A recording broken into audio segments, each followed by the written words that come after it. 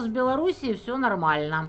Курс рубля за доллар 65 рублей. Ну, понятно, когда никому нафиг не нужна валюта, потому что никуда не поедешь и ее не потратишь, то зачем она кому-то нужна?